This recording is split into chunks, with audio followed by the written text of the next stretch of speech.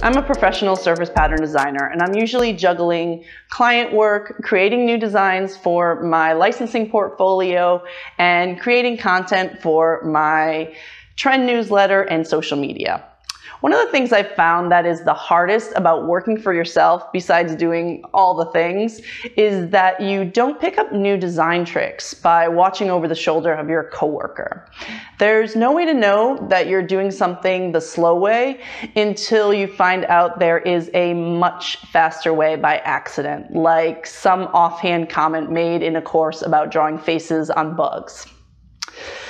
In my work, I use Photoshop and increasingly Procreate, but my number one program for designing prints and illustrations is Adobe Illustrator.